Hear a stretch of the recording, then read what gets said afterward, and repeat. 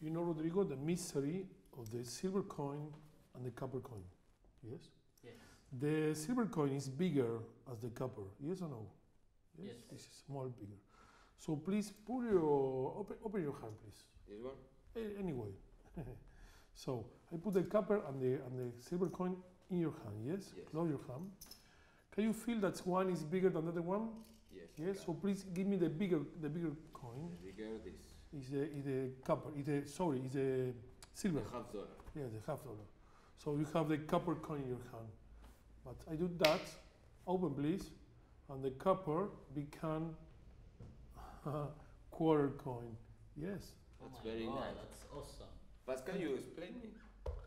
Do you want to know how I do that? Yes, please. Okay. It will be really nice. Okay.